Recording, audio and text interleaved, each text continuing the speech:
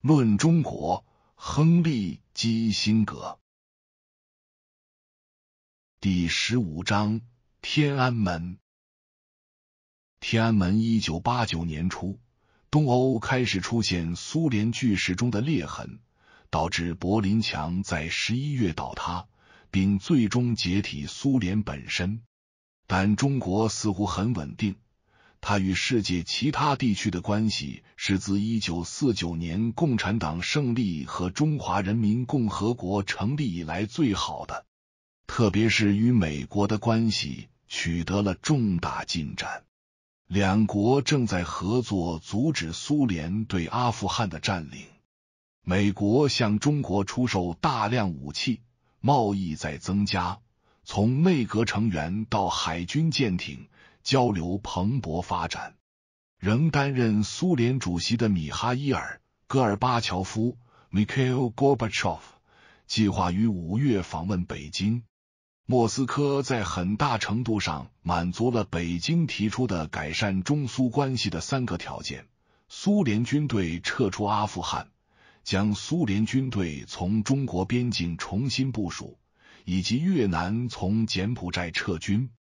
国际会议定期在北京举行，包括今年四月召开的亚洲开发银行董事会会议。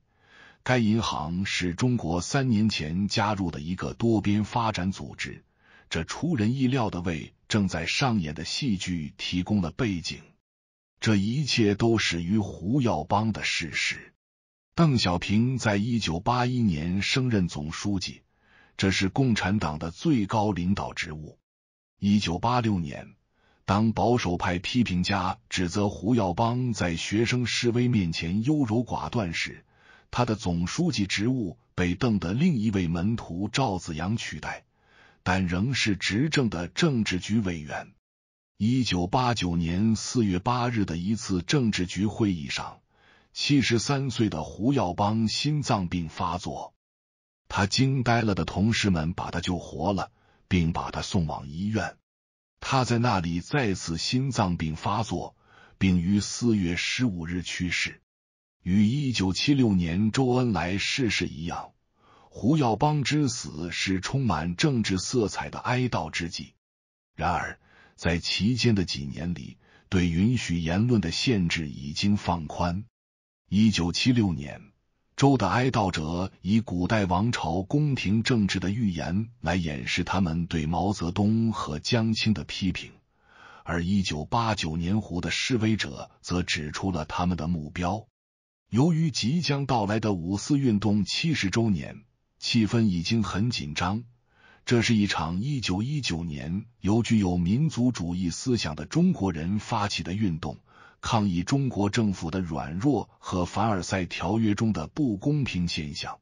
胡耀邦的崇拜者在天安门广场的人民英雄纪念碑前献上花圈，并吟诵挽歌。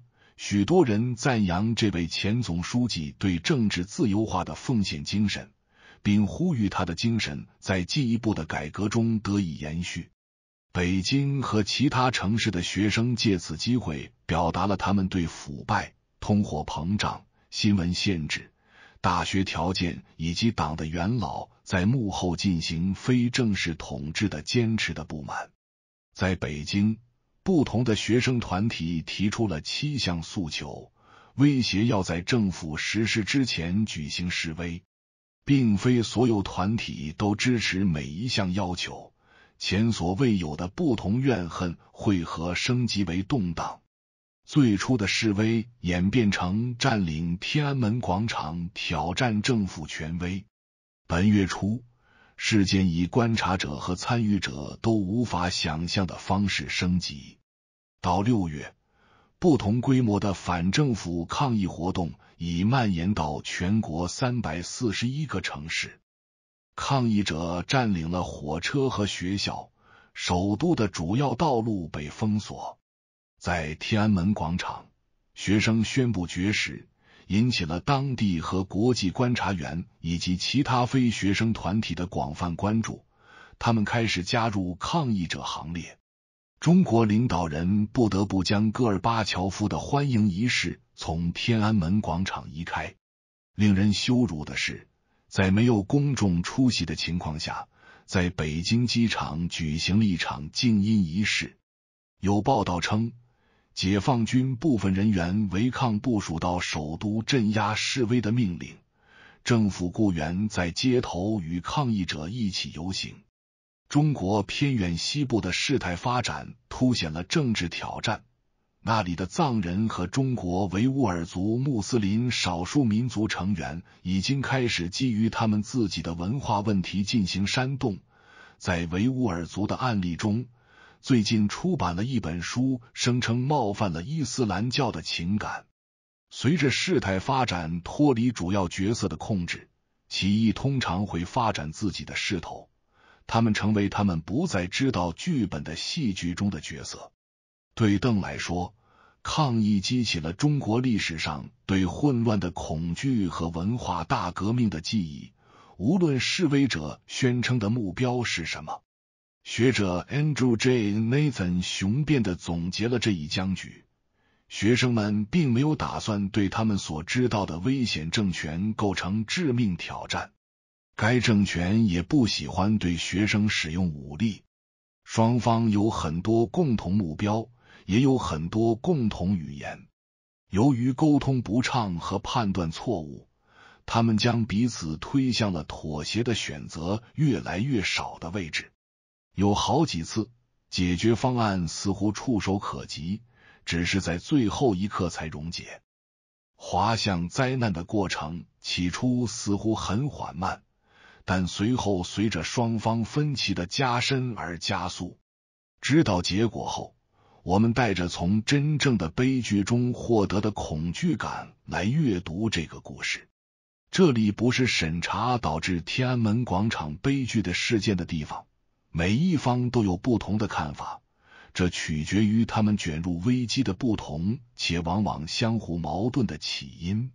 学生骚乱始于对特定不满的补救措施的要求，但占领一个国家首都的主要广场。即使是在完全和平的情况下，也是一种展示政府无能、削弱政府，又使政府鲁莽行事，使其处于不利地位的策略。然而，关于结局没有争议。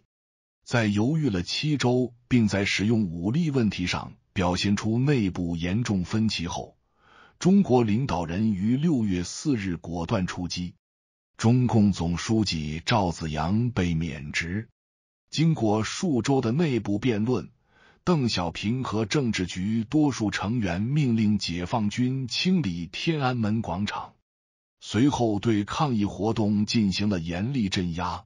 所有这些都出现在电视上，由来自世界各地的媒体播出，以记录戈尔巴乔夫与中国人之间的重要会面。美国困境。国际反应强烈。中华人民共和国从未声称要像西方式的民主国家一样运作，实际上一直拒绝这种暗示。现在，他在世界媒体上以一个专横的专制国家的形象出现，他粉碎了民众对人权的渴望。邓小平此前被广泛称赞为改革者，却被批评为暴君。在这种气氛下，整个中美关系，包括两国之间定期磋商的既定做法，都受到来自广泛政治派别的攻击。传统的保守派坚信，在共产党的领导下，中国永远不会成为可靠的伙伴。整个政治领域的人权活动家都被激怒了。自由主义者认为。天安门事件的后果使美国有义务履行其传播民主的最终使命。无论他们的目标各不相同，批评者一致认为有必要通过制裁向北京施压，要求其改变国内机构并鼓励人权实践。不到五个月前就任总统的乔治 ·H·W· 布什总统对制裁的长期后果感到不安。布什和他的国家安全顾问布伦特·斯考克罗夫特将军都曾在尼克松政府任职。他们在任时见过邓小平，他们还记得他是如何维护与美国的关系，以对抗四人帮的阴谋，并代表个人有更大的发展空间。他们钦佩他的经济改革。他们在对镇压的厌恶与对中国开放以来世界发生巨变的尊重之间取得平衡。他们参与了外交政策的实施。当时，美国的每一个对手都可以指望中国的支持。亚洲所有国家都担心中国与世界隔绝。苏联可以对西方施压的政策，不受对其其他侧翼的担忧所限制。十年前的紧张时期，布什总统曾在中国担任美国驻北京联络处主任。布什有足够的经验来理解那些走过长征路，在延安山洞里幸存下来，在六十年代同时对抗美苏的领导人不会屈服于外国压力或中国的威胁。隔离目标是什么？推翻中国政府，要改变它的结构，朝着什么方向发展？介入的过程一旦开始，怎么可能结束？成本是多少？在天安门事件之前，美国已经熟悉了关于其外交在促进民主方面的作用的争论。简而言之，这场辩论将理想主义者与现实主义者对立起来。理想主义者坚持认为，国内制度会影响外交政策，因此是外交议程上的合法项目；而现实主义者则认为，这样的议程超出了任何国家的能力范围，因此外交应主要侧重于对外政策。道德准则的绝对性与从国家利益的平衡中推导出外交政策的偶然性进行了权衡，实际的区别更加微妙。理想主义者在寻求应用他们的价值观时，将被迫考虑特定情况下的世界。深思熟虑的现实主义者明白，价值观是现实的重要组成部分。做出决定时，区别很少是绝对的，通常它归结为细微差别的问题。就中国而言，问题不在于美国是否希望民主价值观占上风。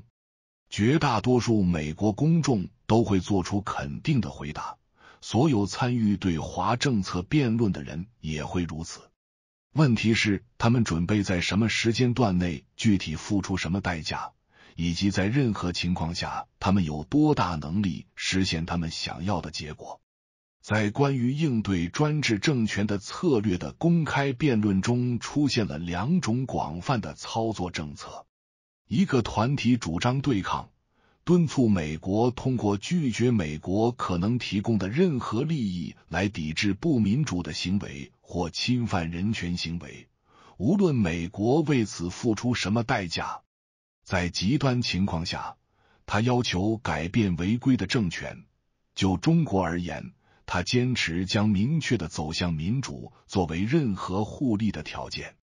相反的观点认为。通过参与政策，通常可以更好的实现人权进步。一旦建立了足够的信心，就可以以共同目的或至少维护共同利益的名义，提倡改变民事实践。哪种方法合适，部分取决于具体情况。有一些侵犯人权的势力如此恶劣，以至于无法想象维持一段持续的关系会带来好处。例如，柬埔寨的红色高棉和卢旺达的种族灭绝，由于公众压力，要么转变为政权更迭，要么转变为一种退位，因此很难适用于与美国保持持续关系、对美国安全很重要的国家。中国的情况尤其如此，对西方社会的羞辱性干预记忆犹新。无论天安门危机的直接结果如何。中国都将成为世界政治的一个主要因素。如果领导层巩固自己，中国将恢复其经济改革计划，并变得越来越强大。美国和世界届时将面临决定：是采取行动恢复与新兴大国的合作关系，还是寻求孤立中国，以促使其采取符合美国价值观的国内政策。孤立中国将导致与一个社会的长期对抗。这个社会在一九五九年，苏联作为其唯一的外部帮助来源撤回援助时，并未屈服。布什政府在上任的头几个月仍在冷战时期，需要中国来制衡苏联。但随着苏联威胁的减弱，中国将变得越来越强大，可以单干。因为曾使中美走到一起的对苏联的恐惧将会消退。美国对中国国内机构的影响存在客观限制，无论是对抗还是接触。我们是否具备塑造像中国这样规模、质量和复杂性的国家内部发展的知识？是否存在中央权威崩溃，可能引发内战再次爆发的风险？而内战至少因十九世纪的外国干预而加剧。天安门事件后，布什总统处境微妙。作为美国驻北京联络处的前任负责人，他对中国对外国干涉的敏感性表示赞赏。凭借其长期的美国政界生涯，他对美国国内政治现实也有着敏锐的洞察力。他知道，大多数美国人认为，华盛顿的对华政策应该寻求。正如当时来自加利福尼亚州的初级民主党代表南希·佩洛西 （Nancy Pelosi） 所说的那样，向北京领导人发出明确和原则性的愤怒信息。但布什也开始认识到，美国与中国的关系服务于美国的重要利益，而不受中华人民共和国治理体系的影响。他担心激怒一个在冷战世界的一些最基本的安全问题上与美国合作了近二十年的政府。正如他后来写道：“对于这个可以理解的骄傲、古老和内向的民族来说，外国的批评来自他们仍然认为是野蛮人的民族和未经中国教育的殖民主义者是一种侮辱。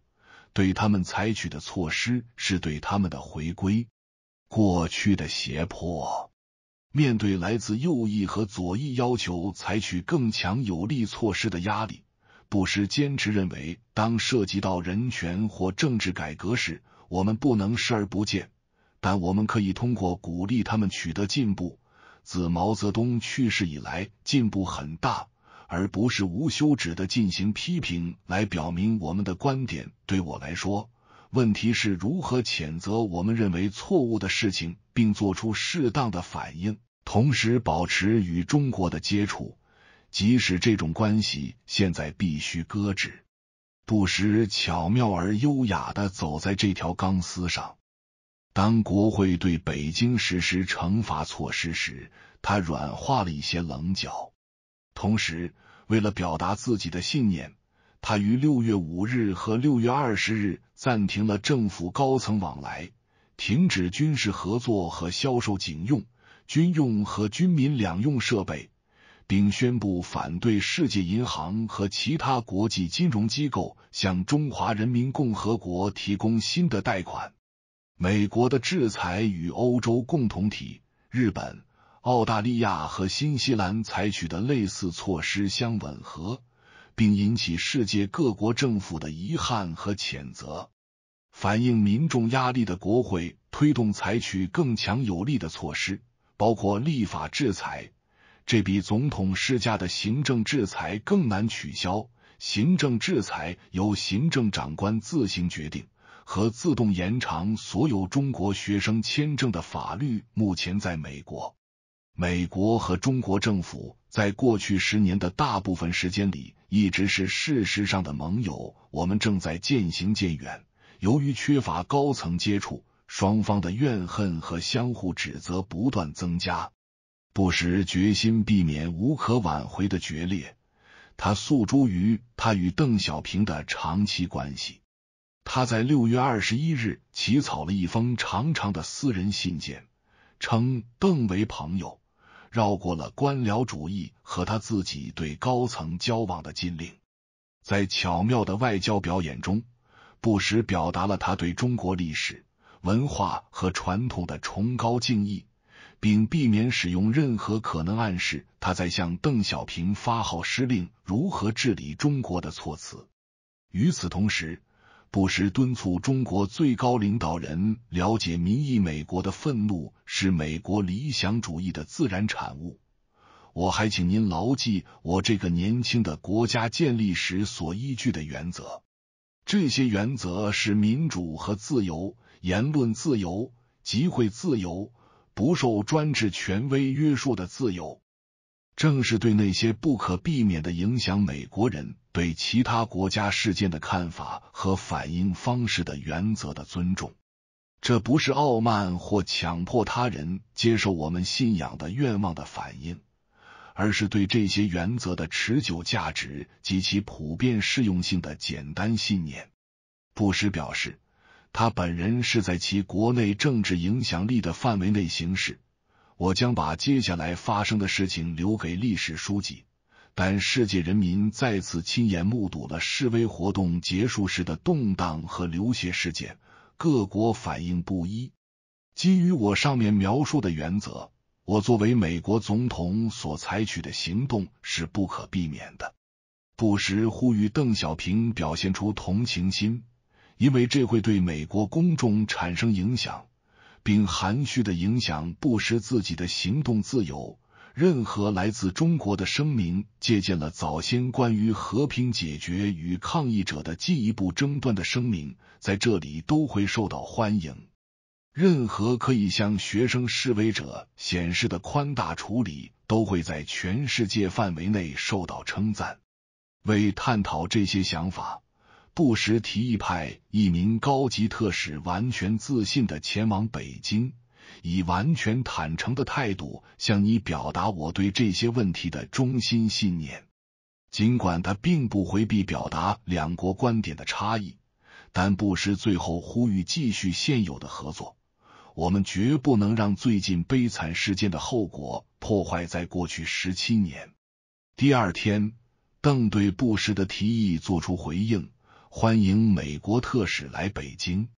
七月一日，在天安门广场暴力事件发生三周后，布什派国家安全顾问布伦特、斯考克罗夫特和副国务卿劳伦斯·伊格尔伯格访问北京。这表明布什重视与中国的关系以及他对邓小平的信任。这次访问是一个严密保密的秘密。只有华盛顿的少数高级官员和詹姆斯·利利大使知道，他从北京被召回，亲自听取即将到来的访问的简报。Scowcroft 和 Eagleburger 乘坐一架没有标记的 C 幺四幺军用运输机飞抵北京，他们抵达的消息被牢牢控制着。据称，中国防空部队打电话给杨尚昆主席。询问他们是否应该击落这架神秘飞机。这架飞机配备了空中加油设备，以避免沿途需要中途停留，并携带了自己的通讯设备，以便该党可以直接与白宫联系。会议或宴会上没有悬挂国旗，新闻也没有报道这次访问。斯考克罗夫特和伊格尔伯格会见了邓小平。李鹏总理和钱其琛外长邓赞扬了布什，并回应了他的友好表达，但将关系紧张的责任归咎于美国。这是一件惊天动地的大事，很不幸，美国卷入其中太深了。从两个多月前的这些事件开始，我们就一直感觉到，美国外交政策的各个方面实际上已经把中国逼到了墙角。这就是我们在这里的感觉，因为反革命叛乱的目的是推翻中华人民共和国和我们的社会主义制度。如果他们成功的实现了那个目标，世界将是一个不同的世界。坦率的说，这甚至可能导致战争。他的意思是内战，还是心怀不满或寻求邻居或两者兼而有之的战争？中美关系，邓警告说，处于非常微妙的状态，甚至可以说处于危险的状态。他便称，美国的惩罚性政策导致了两国关系的破裂，尽管他仍抱有维持这种关系的希望。然后，邓小平又回到了传统的反抗立场，详细谈到了中国不受外部压力和影响的能力，其领导人独特的久经沙场的决心。我们不关心制裁，邓告诉美国特使。我们不怕他们，他说：“美国人必须了解历史，这场以两千万多条生命为代价的二十二年战争，是中国共产党领导下的中国人民打的一场战争。我们赢得了以中华人民共和国成立为代表的胜利，没有任何力量可以代替以中国共产党为代表的中华人民共和国。”这不是一句空话，过去几十年的经验已经证明了这一点。邓小平强调，改善关系要靠美国，并引用一句中国谚语：“解铃还需系铃人。”就其本身而言，北京不会动摇惩罚那些煽动叛乱的人。邓发誓说，否则中华人民共和国如何继续存在？斯考克罗夫特强调了布什在给邓小平的信中强调的主题：美国和中国之间的密切关系反映了两国的战略和经济利益，但他们也让具有两种不同文化背景和观念的社会密切接触。现在，北京和华盛顿发现自己身处一个世界，在这个世界里。中国国内的做法在电视上播出，可能会对美国公众舆论产生深远影响。思考克罗夫特认为，美国的这种反应反映了根深蒂固的价值观，这些美国价值观反映了我们自己的信仰和传统，这与中国对外国干涉的敏感性一样，是我们两个社会之间的多样性的一部分。美国人民在他们看到的示威活动中的看法，对或错，作为一种价值观的表达，代表了他们最真实的信仰，源于美国革命。思考克罗夫特承认，中国政府对待示威者的方式完全是中国的内政。这种待遇引起美国人的反应是一个明显的事实，这是真实的。总统必须应对。布什相信保持美中长期关系的重要性，但他有义务尊重美国人民的感受，这需要其政府具体表达反对意见。双方都需要保持敏感性，才能走出僵局。困难在于双方都是对的。邓感到他的政权受到围攻。布什和斯考克罗夫特认为，美国最深层的价值观受到挑战。李鹏总理和钱其琛强调了相似点，双方没有达成具体协议就分手了。斯考克罗夫特解释了僵局，正如外交官经常解释僵局一样。作为保持畅通沟通渠道的成功企业，双方一直坦率和开放。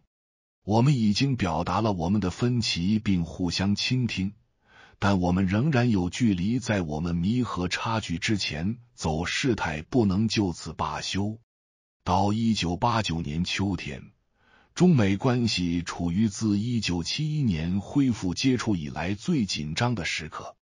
两国政府都不想中断，但似乎都无法避免。决裂一旦发生，便会自生自灭。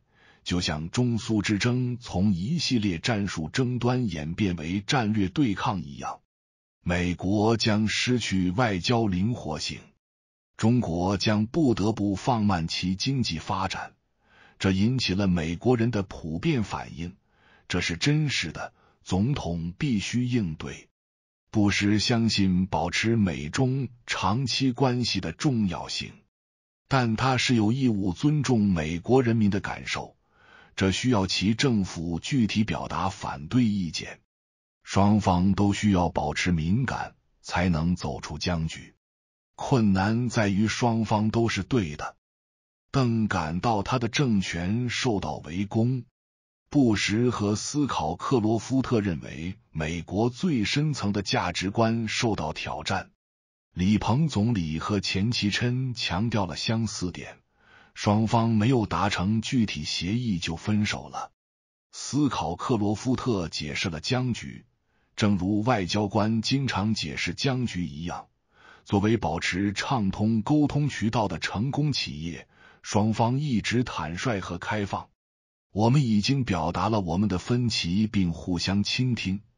但我们仍然有距离，在我们弥合差距之前，走事态不能就此罢休。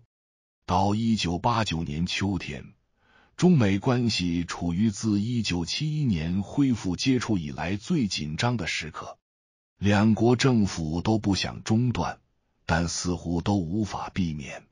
决裂一旦发生，便会自生自灭。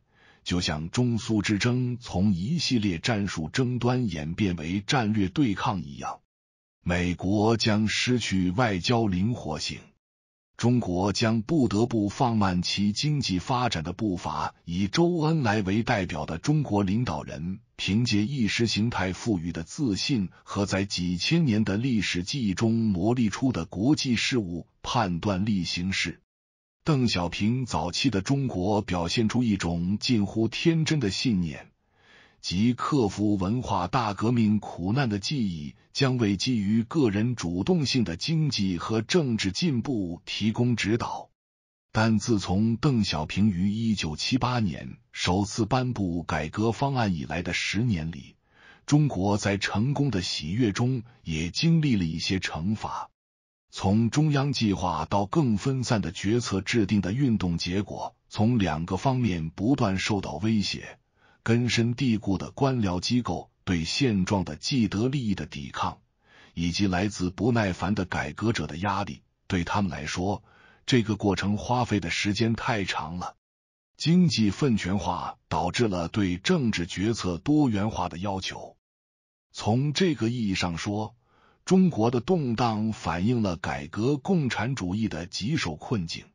在天安门事件上，中国领导人选择了政治稳定。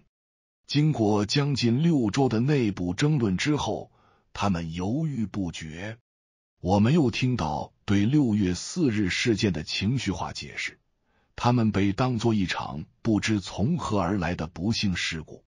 中国领导人对外界的反应和他们自己的分歧感到震惊。他们关心的是重建他们的国际地位。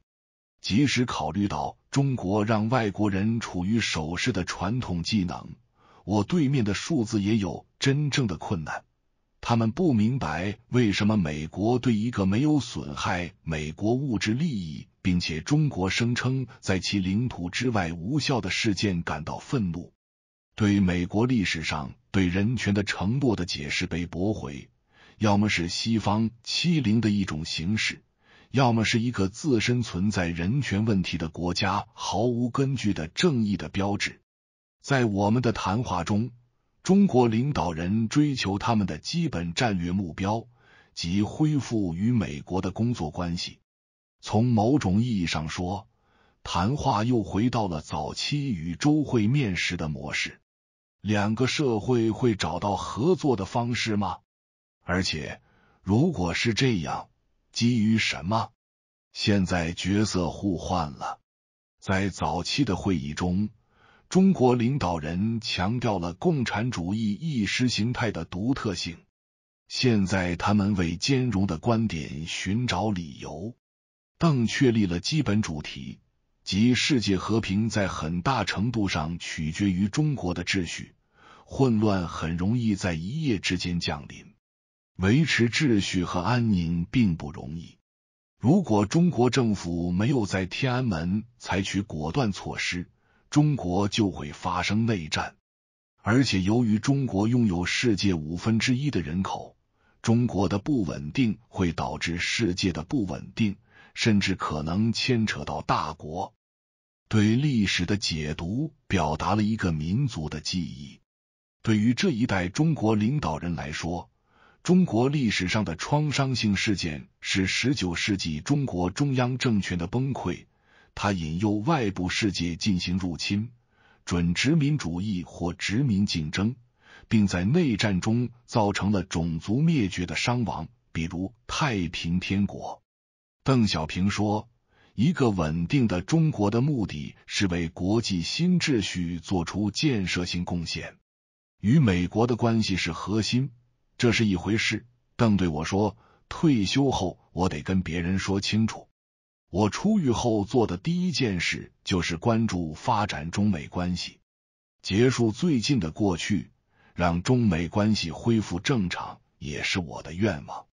我希望告诉我的朋友布什总统，在他担任总统期间，我们将看到中美关系进一步发展。”据李瑞环，中共思想家。分析人士认为是自由派分子之一，说障碍在于美国人认为他们比中国人自己更了解中国。中国不能接受的是来自国外的口授。一八四零年以来，中国人民一直受到外国的欺凌，那是一个半封建社会。毛泽东一生都在奋斗，说中国应该对平等对待我们的国家友好。一九四九年，毛泽东说：“中国人民站起来了。”他的站起来意味着中国人民将享有与其他民族平等的权利。我们不喜欢听到别人问我们该做什么，但是美国人往往喜欢要求别人做这做那。中国人民不愿屈服于他人的指示。我试图向负责外交政策的副总理钱其琛解释国内的压力和迫使美国采取行动的价值观。钱不闻，中国会根据自己的国家利益来决定自己的步调，这不是外国人可以规定的。钱，我们正在努力保持政治和经济稳定，推进改革和对外联系。我们不能在美国的压力下行动。无论如何，我们正朝着那个方向前进，基辛格。但这就是我的意思。当您朝着那个方向前进时，它可能具有有益的表现方面。前，中国开始经济改革是出于自身利益，而不是美国想要什么。在中国看来。国际关系是由国家利益和国家宗旨决定的。如果国家利益相容，合作是可能的，甚至是必要的。利益的一致是无可替代的。国内结构与这个过程无关。这个问题，我们已经在对红色高棉的态度的不同观点中遇到过。按照邓小平的说法。美中关系在遵守这一原则的情况下蓬勃发展。当你和尼克松总统决定与中国重建关系时，中国不仅在为社会主义而奋斗，也在为共产主义而奋斗。四人帮更喜欢共产主义贫困制度。那时你接受了我们的共产主义，因此现在没有理由不接受中国社会主义。根据社会制度处理国与国关系的时代已经一去不复返了。不同社会制度的国家现在可以建立友好关系。我们可以发现，中美之间有很多共同利益。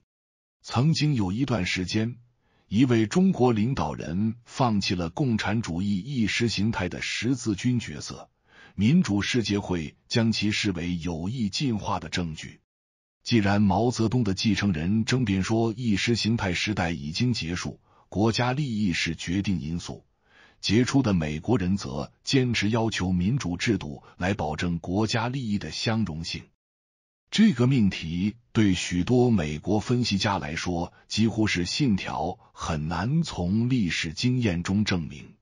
第一次世界大战开始时，欧洲的大多数政府，包括英国。法国和德国基本上都是由民主制度管理的。尽管如此，第一次世界大战一场欧洲从未完全恢复的灾难得到了所有民选议会的热烈支持。但国家利益的计算也不是不证自明的。国家实力或国家利益可能是国际关系中最复杂的要素，无法精确计算。大多数战争的发生是对权力关系和国内压力的误判共同作用的结果。在讨论期间，不同的美国政府提出了不同的解决方案。以解决平衡对美国政治理想的承诺与追求和平和富有成效的美中关系的难题。乔治 ·H· W· 布什 （George H. W. 布什政府选择通过接触来提升美国人的偏好。比尔·克林顿 （Bill Clinton） 的第一个任期会尝试施压。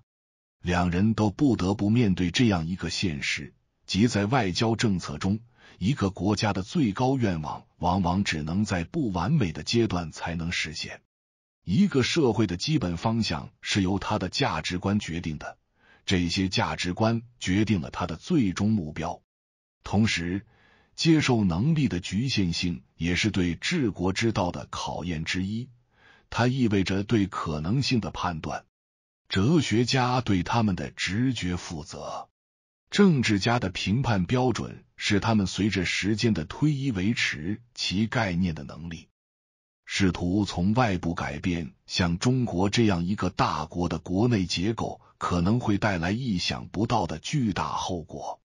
美国社会永远不应放弃对人类尊严的承诺，承认西方的人权和个人自由概念。可能无法在适合西方政治和新闻周期的有限时期内直接转化为围绕不同概念排列了几千年的文明的承诺的重要性并没有降低。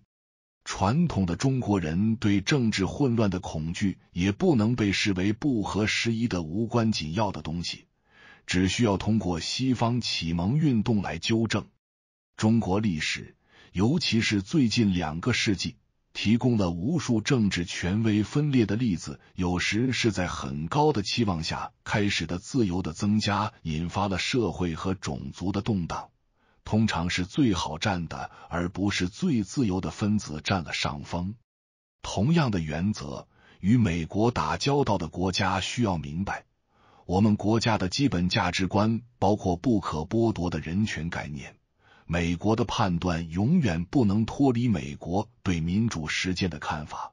有些滥用行为必然会引起美国人的反应，即使是以牺牲整体关系为代价。此类事件可以推动美国的外交政策超越国家利益计算。任何美国总统都不能忽视他们，但他必须谨慎定义他们，并了解意外后果的原则。任何外国领导人都不应该解雇他们。如何定义和建立平衡，将决定美国与中国关系的性质，或许也将决定世界的和平。一九八九年十一月，双方政治家都面临这样的选择。邓小平一如既往的建议努力发展新的国际秩序观。将不干涉内政确立为外交政策的总原则。我相信，我们应该提出建立新的国际政治秩序。我们在建立国际经济新秩序方面还没有取得太大进展，因此，目前我们应该努力建立一种新的政治秩序，遵守和平共处五项原则，其中之一当然是禁止干涉别国内政。方励之之争。到我一九八九年十一月访问时，持不同政见的物理学家方励之已成为美中分歧的象征。方是西式议会民主和个人权利的雄辩支持者，长期以来一直在推动官方容忍的界限。一九五七年，他因反右运动被开除党籍。文化大革命期间。他因从事反动活动被监禁一年。毛死后平反，方追求成功的学术生涯，公开支持加强政治自由化。在一九八六年的亲民主示威之后，方再次受到谴责，尽管他继续散发改革的呼吁。一九八九年二月，布什总统访华时，方被列入美国大使馆向白宫推荐的名单，应邀参加总统在北京举行的国宴。大使馆遵循了他们认为是里根访问莫斯科的先例，在访问期间，他会见了自称持不同政见者。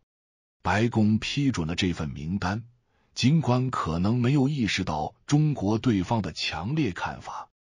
方被列入邀请名单，在美国和中国政府之间以及新布什政府内部引发了一场争论。最终，大使馆与中国政府达成协议，方将坐在远离中国政府官员的地方。活动当晚，中国安全部门拦截了方的汽车，阻止他进入会场。尽管方没有亲自参加天安门广场的示威活动。但学生抗议者对他倡导的原则表示同情，据信方可能成为政府报复的目标。在六月四日的镇压之后，方和他的妻子立即在美国大使馆避难。几天后，中国政府已在最近动乱前后的反宣传和煽动罪对方和他的妻子发出逮捕令。政府出版物要求美国交出制造这种暴力的罪犯，或面临美中关系恶化。我们别无选择，只能接纳他。布什在他的日记中总结道：“但这对中国人来说将是一个真正的眼中钉。”放在大使馆的存在一直是紧张局势的根源。中国政府不愿让其最著名的批评者离开该国。因为担心他会在国外煽动，华盛顿不愿意让一个拥护自由民主的持不同政见者面对肯定会受到严厉的报复。在发给华盛顿的电报中，詹姆斯·利利大使提到了方，他和我们在一起，不断提醒我们与资产阶级自由主义的联系，并使我们与这里的政权背道而驰。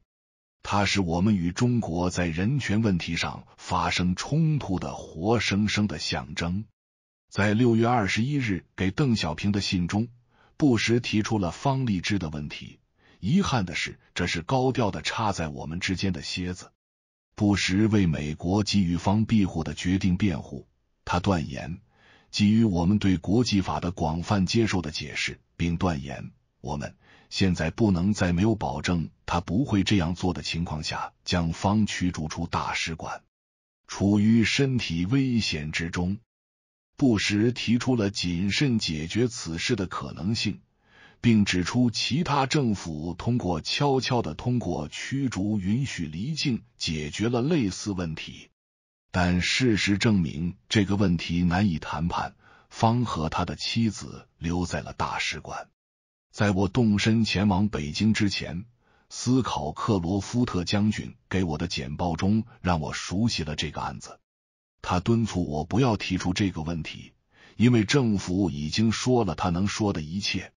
但我可以在现有政策框架内回应中国的倡议。我听从了他的建议，我没有提出方立之的问题，我的任何中国对话者也没有提出。在我告别拜访邓时，他就改革问题随便说了几句，就突然提出这个话题，并以此提出一揽子交易。对相关交流的扩展总结将给出天安门事件后六个月北京的情绪。邓，我和布什总统谈过方励之案。基辛格，如你所知，总统在宴会邀请公开之前并不知道。当他告诉我的，基辛格，既然你提到了方，我想表达对你的关心。我在这里的任何其他谈话中都没有提出这个问题，因为我知道这是一个非常敏感的问题，影响中国人的尊严。但我认为，如果能找到某种方法让他离开大使馆，并让他离开这个国家，你在美国最好的朋友就会松一口气。没有其他任何一部能像在引起太多骚动之前就发生这样给美国公众留下如此深刻的印象。这时，邓从座位上站起来，拧下他和我座位之间的麦克风，表示要私下谈话。邓，你能提点建议吗？基辛格，我的建议是将他驱逐出中国。我们同意作为一个政府，我们不会对他进行任何政治利用。也许我们会鼓励他去瑞典这样的国家，在那里他会远离美国国会和我们的媒体。这样的安排可能会给美国公众留下深刻的印象，而不是在任何技术问题上采取行动。更想要更具体的保证，美国政府是否有可能根据中国法律要求方写下供词，或者华盛顿保证在他被驱逐出境后，方不会说和做任何反对中国的事情。邓将其扩大到要求华盛顿承担责任，防止目前在美国的方和其他中国示威者在胡说八道。邓正在寻找出路，但他提出的措施是在外面美国政府的合法权利。邓，如果他写了认罪书，我们驱逐他，你会怎么想？基辛格，如果他会这样做，我会感到惊讶。今天早上我在大使馆，但没有见到方邓。但如果美方坚持，他就得做。这个问题是由美国大使馆的人发起的，包括你的一些好朋友，包括我认为是朋友的人。如果美方要求方某写供词，然后我们可以把他当成普通罪犯驱逐，他想去哪里就去哪里。如果这样不行，换个思路，美国在他被驱逐后承担责任。方不说不做反对中国的事，他不应该利用美国或其他国家来反对中华人民共和国。基辛格，让我评论一下第一个提议。如果我们要他在供词上签字，假设我们能做到，重要的不是他在大使馆里说了什么，而是他离开中国后说了什么。如果他说是美国政府逼他认罪，那对大家来说还不如他不认罪。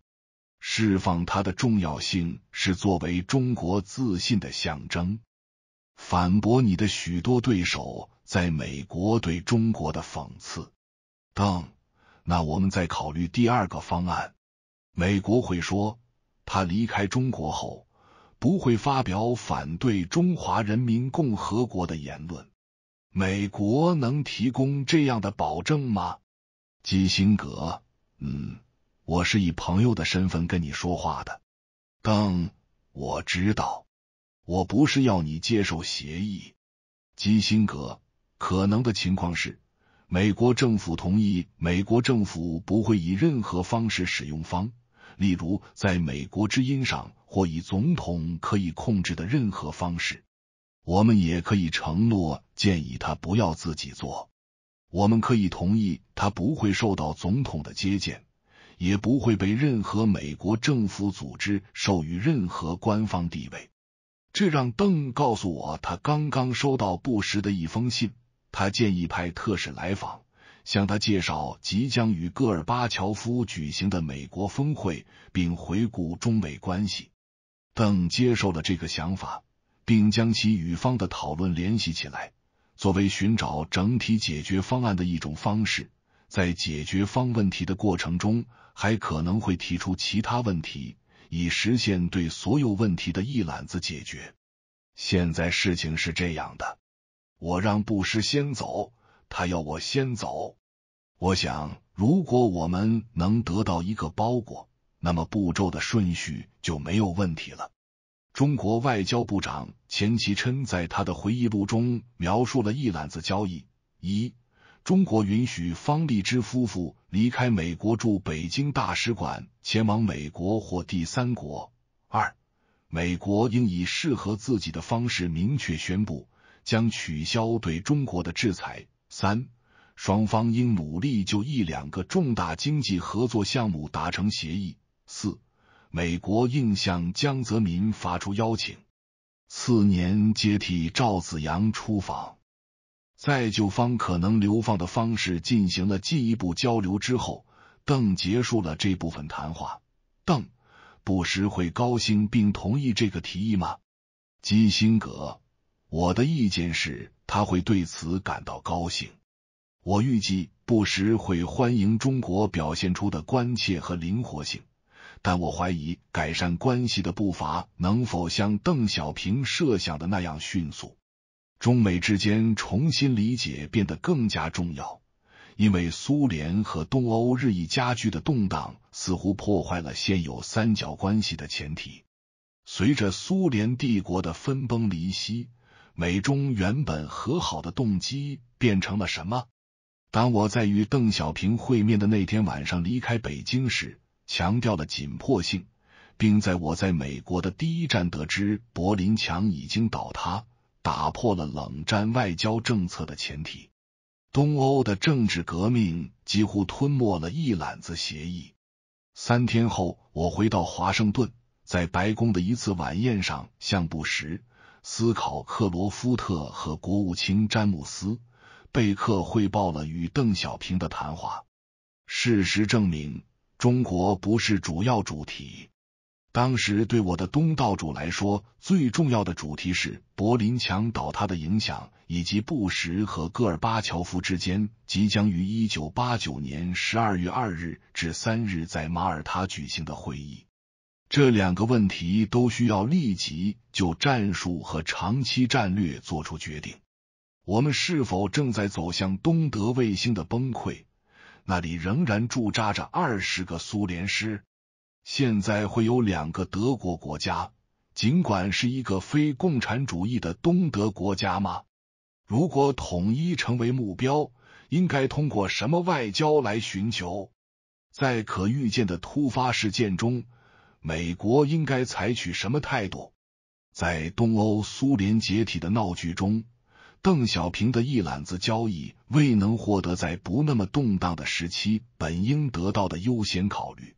直到十二月中旬，布伦特·斯考克罗夫特 （Brent Scowcroft） 和劳伦斯·伊格尔伯格 （Lawrence Eagleberger） 在六个月内第二次访问北京，我才与邓小平讨论了这一特殊使命。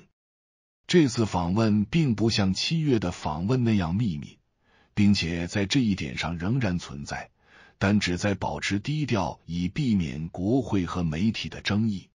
然而。中方策划了斯考克罗夫特向钱其琛敬酒的合影，在美国引起了不小的惊愕。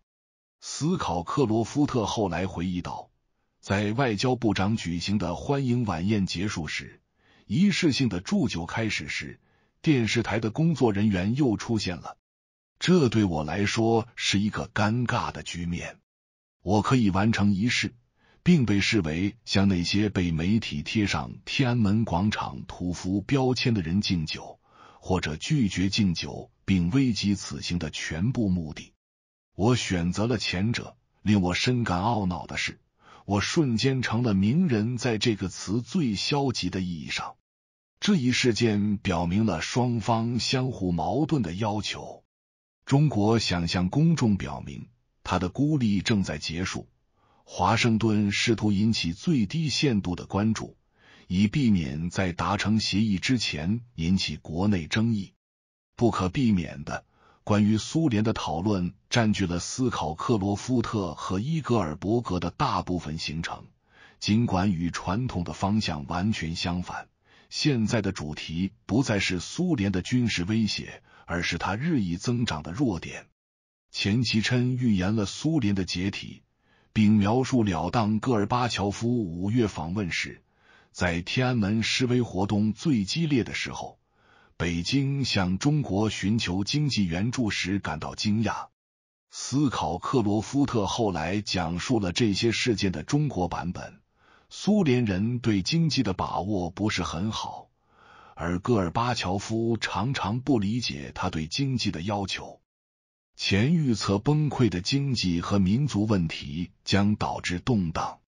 我没有看到戈尔巴乔夫采取任何措施。他补充说，戈尔巴乔夫呼吁中方提供消费必需品，他告诉我们，我们可以提供消费品，他们将以原材料作为回报。他们还想要贷款。当他们第一次提出这个问题时，我们非常吃惊。我们已经同意向他们提供一些资金。中国领导人向斯考克罗夫特提出一揽子解决方案，并将释放方励之与解除美国制裁挂钩。政府更愿意将方案作为一个单独的人道主义问题单独解决。苏联集团的进一步动荡。包括血腥推翻罗马尼亚共产党领导人齐奥塞斯库，加强了中国共产党的围困感。东欧共产主义国家的解体，也加强了华盛顿那些认为美国应该等待他们认为似乎不可避免的北京政府垮台的人的力量。在这种气氛下，双方都无法动摇既定立场。关于释放方的谈判将通过美国大使馆继续进行，双方直到一九九零年六月才达成协议。方和他的妻子首次寻求庇护一年多后，邓提出一揽子建议后八个月。与此同时，根据一九七四年杰克逊瓦尼克修正案的条款，非市场国家对中国最惠国贸易地位的年度重新授权。该修正案使最惠国待遇以移民行为为条件转变为国会的论坛谴责中国的人权记录。这场辩论的基本假设是，与中国达成任何协议都是一种恩惠，在这种情况下与美国的民主理想相悖，因此贸易特权应该以中国向美国的人权和政治自由观念转变为前提。一种孤立感开始降临北京，胜利情绪开始笼罩华盛顿。一九九零年春天，随着东德、捷克斯洛伐克和罗马尼亚的共产党政府垮台，邓小平向党员发出严厉警告：大家应该很清楚，在目前的国际形势下，敌人的所有注意力都会集中在中国身上。他会千方百计找事，给我们制造困难和压力。中国因此需要稳定，稳定再稳定。今后三五年对我们党和国家来说是极其艰难的，也是极其重要的。如果我们站得住脚，挺过他们，我们的事业就会发展的很快。如果我们垮了，中国的历史就会倒退几十年，甚至一百年。十二和二十四个字的指示，在充满戏剧性的一年结束之际，邓选择了他计划已久的退休生活。在一九八零年代，他采取了许多措施来结束中央集权的传统做法。只有在任者去世或天命丧失无限期和招致混乱的标准才结束。